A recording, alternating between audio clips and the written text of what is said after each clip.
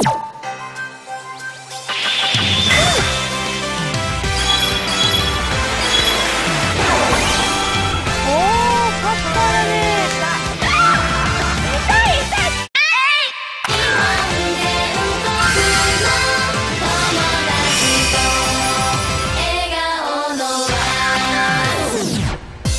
回栃木県で23個目のスクープを検証した中村はホンダの寝起きドッキリに初挑戦待って。ちゃんとパジャマ持ってきてる。私ホテルのだから毎回。8月19日現在。23箇所をクリア。中村が次に向かったのは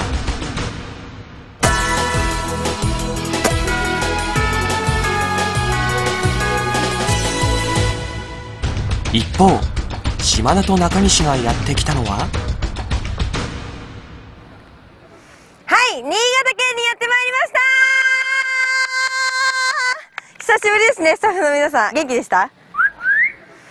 いや、全然元気そうじゃないけど。いや、それにしても、中西どこ行った？まず、新潟県集合ってなったじゃないですか、あの場で。で、朝ちゃんとお前遅刻すんなよっていうことで、新潟で待ち合わせしたんですけど、どういうことっすか？はい。なんすかなんすか。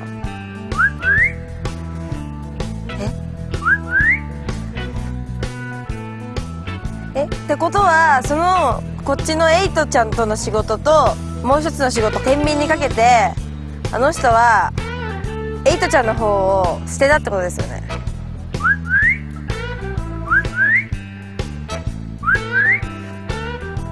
そうっすね。いやマジないっすね。いや遅刻どころか立ち悪いんで。なんか載せれますかね？企画で。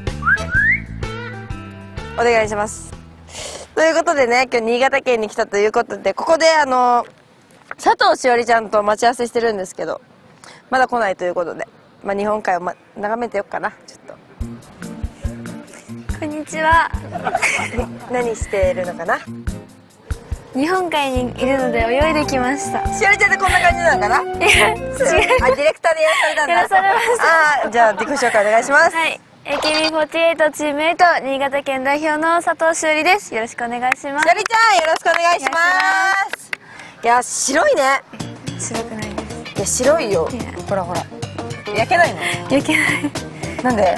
あのうん赤くはなるんですけど黒くならない。あー将来シミになっちゃうよ 気をつけな。はい気をつけます。私このロケでちょっと日焼けしてここだけちょっと乾燥しててカサカサしてるから今ここ。いやシミじゃないよまだ。まだ22あ。やばい！やばいよ！笑顔が可愛い真っ白な肌の佐藤しおりのスクープは一体どんな内容なのか。新潟県代表佐藤しおりのご当地スクープは？クイズ番組での活躍を夢見て日夜勉強しているらしい。何が一番得意なんですか？漢字がすおごい好きで。漢字が得意？はい。なんかあります？なんか漢字テスト何点取りました？みたいな。中学校とかで漢字テストとかあるじゃないですか、うんうん。あれは3年間全部100点でー！賞状もらったんです。すごいね、はい。え漢検は？最高得点なんて。漢検は200点満点中190え？197点。えじゃあ何でもいけるってこと？あまあはい。なんか得意な漢字あるの？お寿司好きなので、お寿司屋さんに行った時によくあのこう湯飲みとかに書いてあるのであのあこういうのこう読むんだみたいなのはやったりするんだ。やったりしてまそししたらじゃあ市場行って、たはい。ちょっとその、はい。しおりちゃんの漢字能力どれぐらいかテストさせてもらってもいいですか？はいじゃあ市場に向かいましょう。はいということで市場に到着しました、はい。い、やー食べれるかな？おあ頑張ってね。はい頑張ります。じゃあちょっとこの中入っていきましょう。この気になるスクープ調査の続きは後で。佐藤しおりのことがもっとわかるこちらのコーナーをどうぞ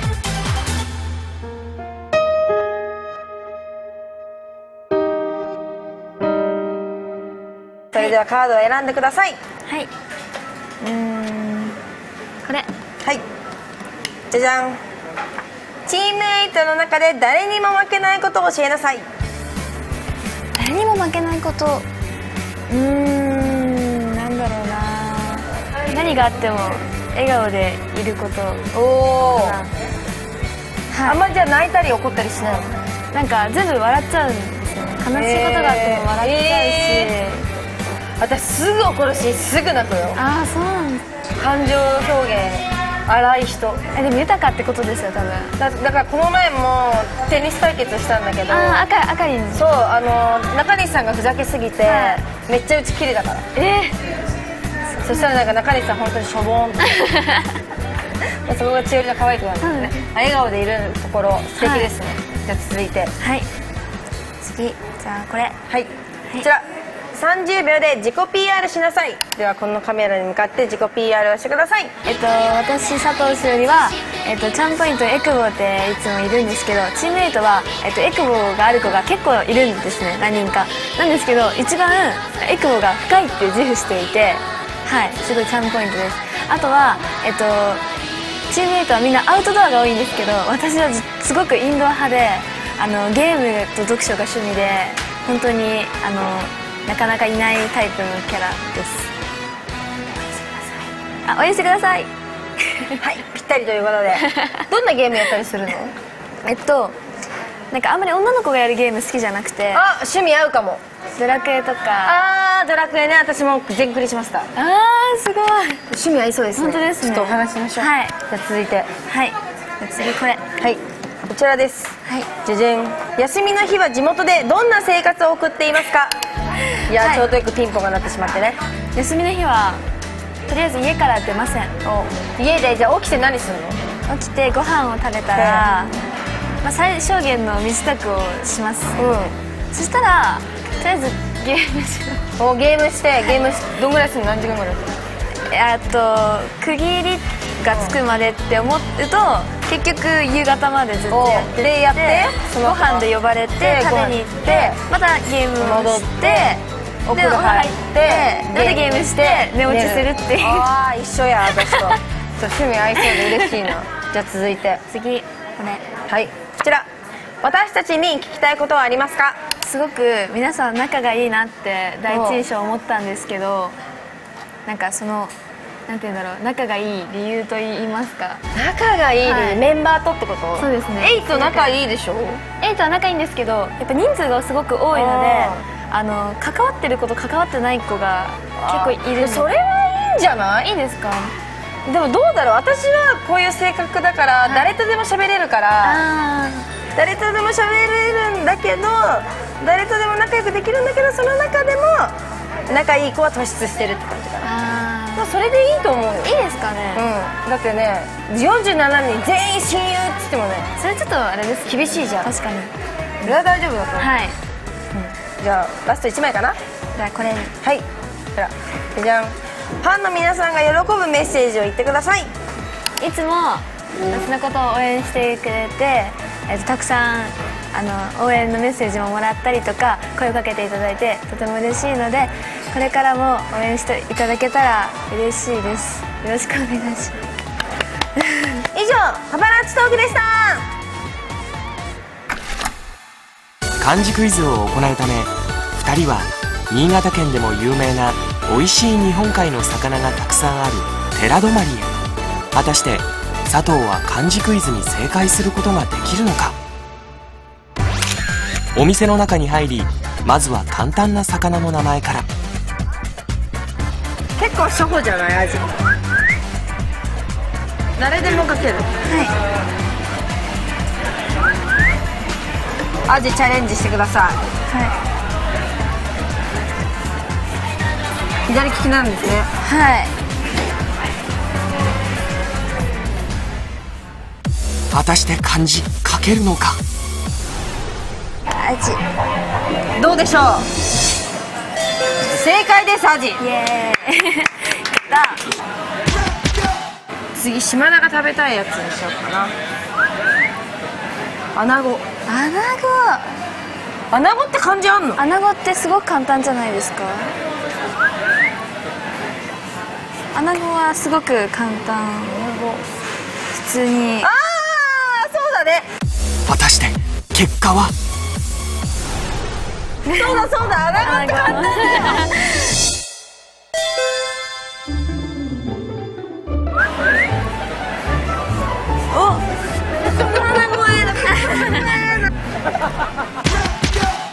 続いての魚は？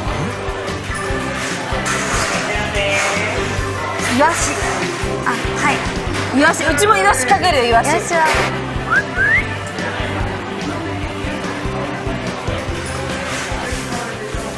イワシはわかりますよ。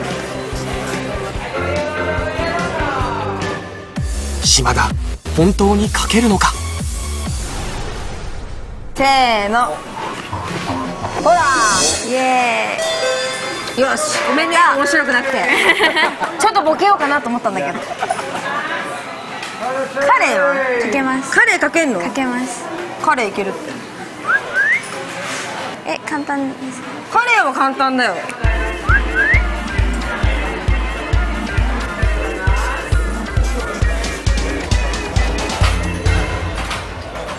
果たして結果は？せーの。カレーの煮つけ。カレーの煮つけ美味しいよね。美味しいです。大好きでも草冠いらない。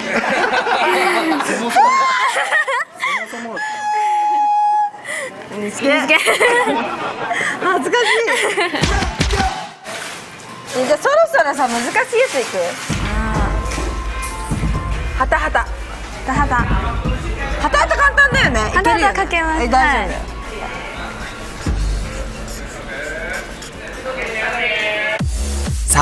正解は？ははたはたイ。エーイた はたはたは魚辺に示すにます次行こう次、はい。とここで島田が。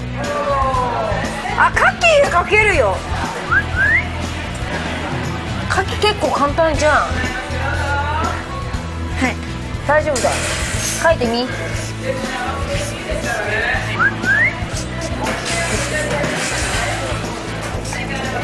なんだっけ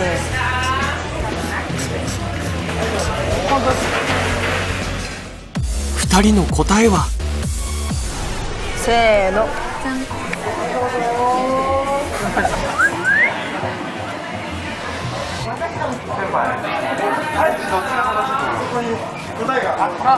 あこれ書いてある。あ今が旬岩ガキわ残念正解。イすごい。ということで正解した佐藤には取れたての新鮮な岩牡蠣を堪能していただきます。失礼します。いただきます。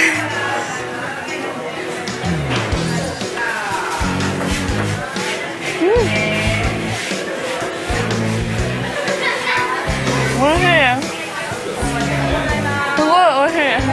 いや食レポがまずできてないからうち食べた方がいいと思うんですよ。なんかプリプリでした。食感がすごくいいです。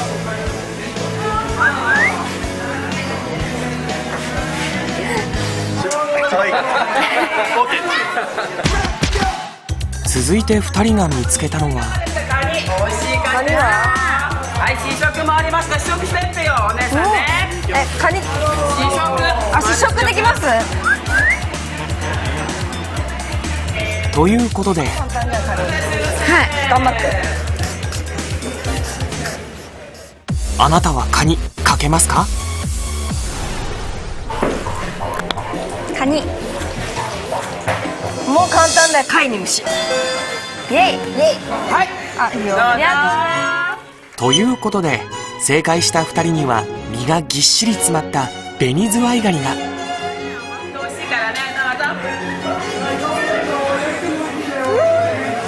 あまりの美味しさに言葉も出ない2人。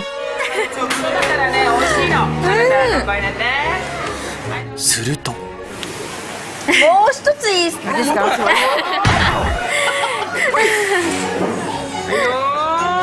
でも美味しいからありがとうございま2本目す。いただきます。はい、どうぞど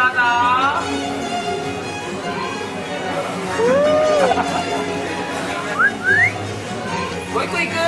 あもう一本いいですかそして。いただきます。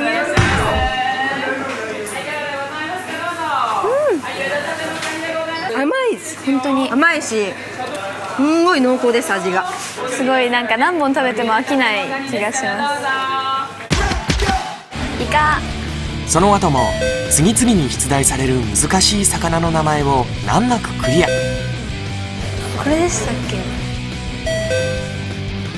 日頃の勉強の成果を十分に発揮して得意の漢字クイズでバッチリアピール。し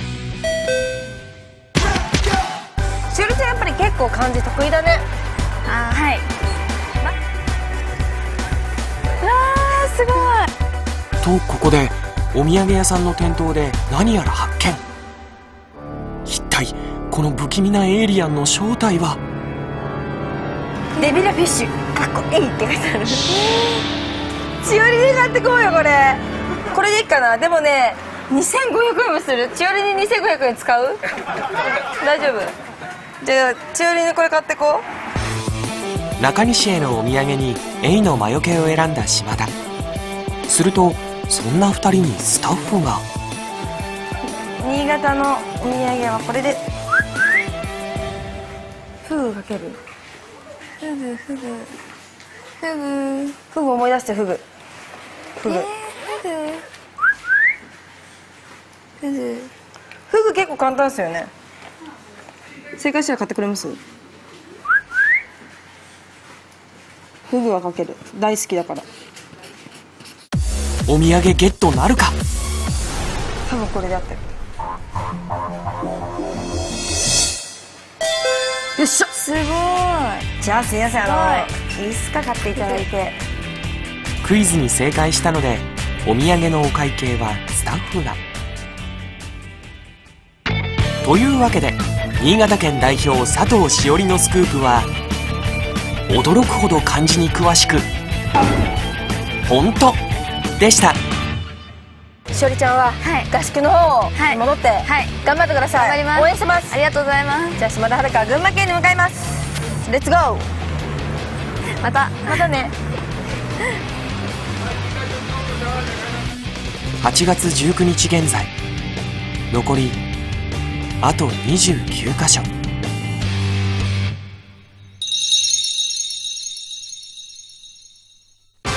次回埼玉県の高橋彩音は太鼓の達人に関するスクープ？だからテレビで見ててみんな下手くそだな。えもう一回言ってやったテレビに出てるやつ下手くそだなって。